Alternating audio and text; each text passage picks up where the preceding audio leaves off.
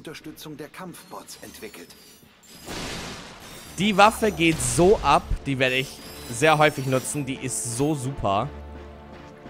So, haben wir hier noch irgendwas? Ja, wie gesagt, wir gucken uns ganz genau um. Werden es einfach as best as possible genießen. So. Und jeden Bolt sammeln, denn wie gesagt, das ist auch das Schöne und ich finde, das ist nicht blöd gemacht. Früher hast du mit deinem Bolz immer nur Waffen gekauft. Irgendwann hattest du alle Waffen und dann wusstest du irgendwie nichts mehr damit zu tun. Und jetzt hast du einfach die Möglichkeit, äh, sehr viel mehr Sachen zu machen. Wie zum Beispiel das Raretarium sammeln, damit du deine Waffen aufwerten kannst. Ergo lohnt es sich wirklich, alles zu zerstören, was du findest. Oh, wie schön. Wow, der hält aber viel aus. So, die kleinen sind Insta-Hits, die großen sollte man ein bisschen anders angehen.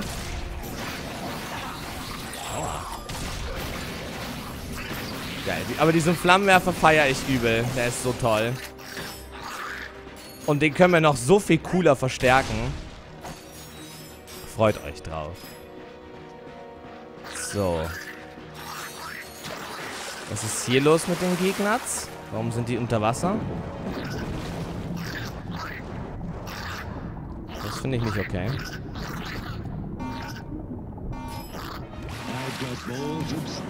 Boom. Trinity, Dankeschön, Mann, für deinen zweiten Sub in Folge. Vielen lieben Dank. So.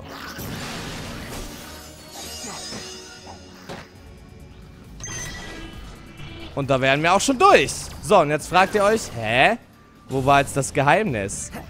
Und jetzt kommt's, dadurch, dass wir eben Ratchet Clank schon damals gespielt haben und quasi noch einige Secrets kennen.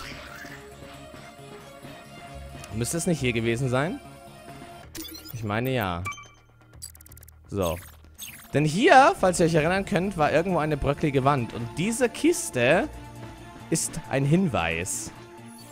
Und wenn wir da jetzt eine Schmelzgranate hinwerfen... Du kannst wirklich gut Dinge zerstören. Weißt du, das hat Grimm auch mal gesagt. Und was seht ihr?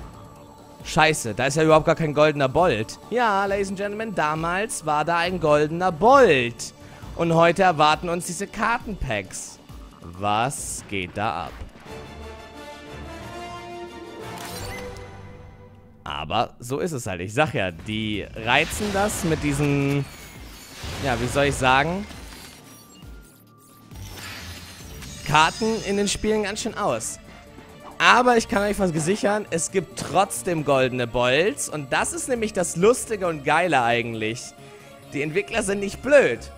Die haben in den alten Secrets die Kartenpacks versteckt und die goldenen Bolts an neue Orte gepackt. Und das ist so geil, Alter. So großartig. So, wir haben jetzt ein Pack bekommen, da sind drei Karten jetzt drin. Das heißt, wir machen mal auf, hoffentlich keine doppelten. Boom. Da sind jetzt aber nur zwei drin gewesen, wenn ich das richtig gesehen habe. Einmal der Rausschmeißer und die Doppelviper. Ja, da waren jetzt nur zwei Packs drin. Das heißt, eine habe ich doppelt wohl, ja. Und das ist... Ähm... Ich kann gar nicht sehen... Ach so, stimmt, das war nämlich so. Es ist vollkommen egal, welche Karte du doppelt hast. Die geht in deinen Duplikatordner, sag ich mal. Und sobald du fünf hast, kannst du halt dann eben tauschen. So war das. Es ist vollkommen egal, welche du doppelt hast. Das spielt keine Rolle. So. Und das war's quasi. Geil, oder? Ich find's super. So. Das muss der Weg nach draußen sein. Richtig. Mal sehen, ob ich noch alles auswendig weiß von damals. Quasi, äh, so im Stil von allen Secrets. Mal gucken. So, natürlich kennen wir auch dieses, diesen Secret-Bereich. Schaut mal, wie geil das Wasser hier einfach runterläuft. Wie hübsch das im Vergleich zu früher ist. Das ist so der Hammer mal. Marc, vielen Dank für deinen Resub. Ist, die Serie ist zwar gerissen, aber ich weiß, dass du schon Sub warst. Danke dir, Marc, dass du zurück bist. Was, was, was? Oh, yo. So, also wir haben hier den Vorteil, dass ich halt mich schon noch einigermaßen gut auskenne. Das wird irgendwann anders sein, denn es ist ja nicht ein 1 zu 1 Remake, ne? also ist ja kein Reboot, also kein Remastered, sondern ein Remake und hat dementsprechend auch ganz andere Sachen noch, auch komplett neue Level und so weiter.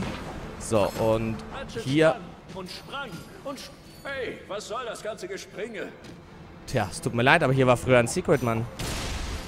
Und genau das möchte ich wiederholen. Und auch hier war früher ein goldener Bolt. Und dementsprechend ist jetzt hier nur noch das Kartenpack. Also schön ist es natürlich, weil ich kenne dementsprechend die neuen goldenen Bolt-Verstecke nicht. Das heißt, ich werde mich da auch schön auf die Suche begeben dürfen. Captain Quark und die Waffe, die wir gerade gekauft haben. Also ihr seht schon, hier haben wir das Weldin-Set, dann das Heldensatz-Set, Schmelzgranaten-Set, Brenner-Set und jetzt natürlich das Pyroseite-Pack für den Pyroseite an sich. Irgendwann haben wir nochmal eine doppelt bekommen. Alles in bester Ordnung. Also es ist random und äh, ja, ich hoffe, es artet nicht in extremen Grinding aus. Denn sollte es das tun, das, ich weiß es noch nicht, wie es läuft. Ob ich in einem Durchgang alle Karten sammeln kann. Weil ich hätte keine Lust auf Grinding, um das Spiel auf 100% zu spielen. Sammeln etc. alles in Ordnung, aber kein Grinding. Ich hoffe, das wird nicht so sein. Das weiß ich aber noch nicht.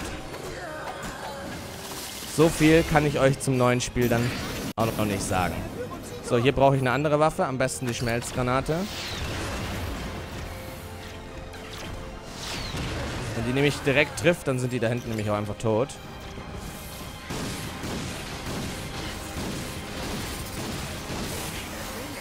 Warum lebt der denn immer noch? Zwei Schmelzgranaten hat er überlebt? Als ob. Meine Herren, ey.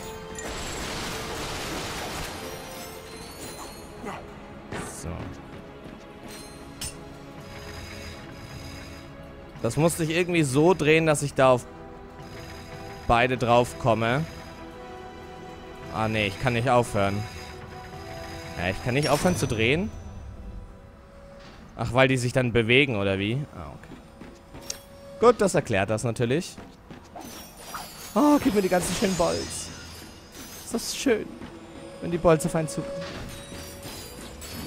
Grinding bedeutet, ich müsste so viele Gegner töten und immer wieder, also immer wieder Gegner töten und Gegner töten und damit und darauf hoffen, dass Drops kommen, um etwas zu erledigen, was halt einfach nur mit Glück zusammenhängt, quasi. Weil, wenn du es durchspielst, willst du halt nicht eigentlich nochmal durch die Welt rennen und die ganze Zeit Gegner töten. Einfach nur so, damit du eine bestimmte Sache kriegst. Und dann auch noch Glück haben musst, dass sie droppt. Das will ich eigentlich nicht unbedingt. Kennt ihr noch den guten alten Klempner? Oh, Hallöchen, ich freue mich, dass du hier bist. Ich war... Hey, kennen wir uns schon? Ich verspüre ein leichtes Déjà-vu. Das Déjà-vu, Alter. Ich glaube nicht. Die alte Denkfabrik braucht wohl mal einen Klempner. Wie auch immer. Ich habe versucht, einen Notruf an die Schutztruppen zu senden, seit Dreckstruppen aufgetaucht sind. Die gesamte Region ist voll von Blattransportschiffen. Wir müssen dich hier wegbringen. Ja, ich kann nirgendwo hin, bis ich diesen Infobot Captain Quark übergeben habe. Wir waren auf dem Weg zu ihm, als unser Schiff getroffen wurde. Können wir einen Blick darauf werfen? Aber natürlich, stibitzt von einem der Blank-Soldaten. Bitte sehr. Oh, Hallöchen. Ich bin Alonso Drake, Vorsitzender von Drake Industries. Viele von euch fragen sich bestimmt, warum marschieren 300 Drake muss ich immer an Paul Heyman denken. Kampfbots bedrohlich zu einem Schlachtschiff der Klasse G? Die Antwort ist einfach, Freunde. Fortschritt. Vor vielen Jahren mussten wir unter die Erde wegen der Luftverschmutzung, die vielleicht angeblich, aber ganz definitiv von der Firma meines Vaters verursacht wurde. Seither betreiben wir statt Roboterbau den Planetenbau. Jetzt, da unser Projekt sich dem Abschluss nähert, müssen wir mit allen Mitteln den Zeitplan einhalten. In diesem Falle heißt das, unsere freundliche Kampfbordarmee muss jene vernichten, die uns aufhalten wollen. Die guten Neuigkeiten, die haben keine Ahnung, dass wir kommen. Also lehnt euch gemütlich und beruhigt zurück, denn ihr wisst, Drag Industries arbeitet für euch. Drag Industries arbeitet nicht für euch. Wie ich sehe, hast du ein paar Transportprobleme. Treffen wir uns doch bei deinem Schiff. Wir machen dich wieder fit und abflugbereit. Geronimo! Oh, da freue ich mich auch gleich drauf. Das Abwasserrohr runter? Ja, da freue ich mich jetzt auch Es sieht wie drauf. der schnellste Weg nach unten aus. Probieren wir es.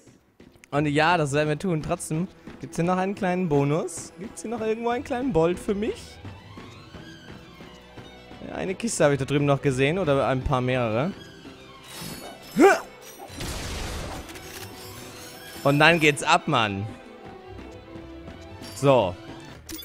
Kurzen Blick auf die Karte geworfen. Alles entdeckt. Perfekt. Und jetzt heißt es auch für uns Geronimo! Woo!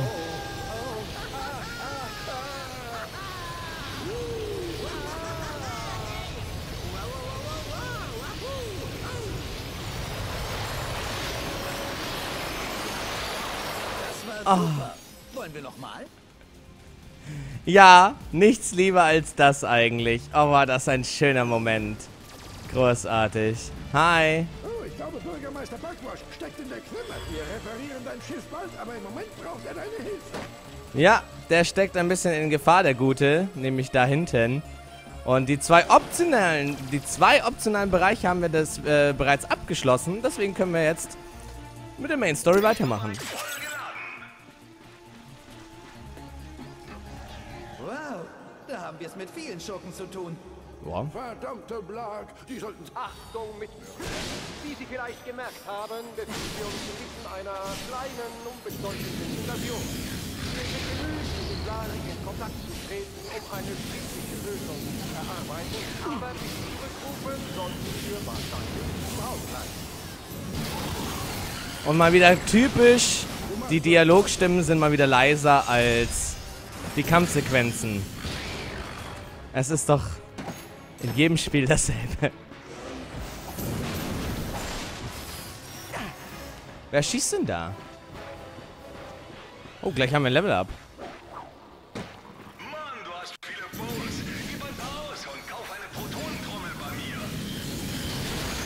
Ja, könnte ich theoretisch tatsächlich kaufen. Alter, ist hier was los. Der gute alte Omni-Schlüssel ist aber halt immer noch am geilsten. Wie es hier eskaliert. Holy shit. So. Ich habe hier überhaupt gar keine Ruhe. Ich will mich doch erstmal hier Das ist umgucken. eine Statue von Cora Verulus. Sie war die jüngste Rekrutin der galaktischen Schutztruppen aller Zeiten. Gut zu wissen. Achtung. Wir haben euch anlässlich eures Eindringens in diesen Sektor mehrere Nachrichten Aha. Guck mal, das ist neu. Das gab's damals nicht, weil wir hier noch nicht, äh...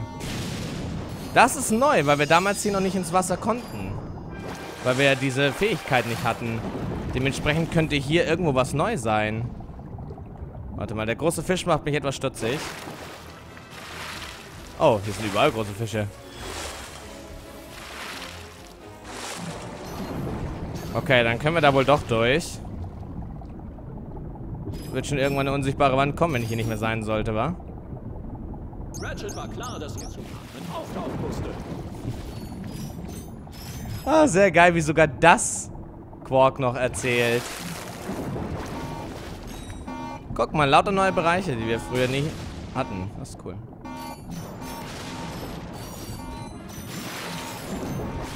Gut, in dem Fall gibt es aber in Anführungszeichen nur Bolts. Aber ganz ehrlich, nur Bolts ist eigentlich auch schon ganz gut.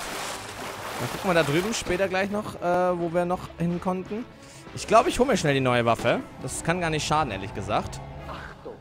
Wir haben zu dieser unangenehmen Situation immer noch nichts von euch gehört. Zuerst dachte ich, dass wir vielleicht ein technisches Problem haben.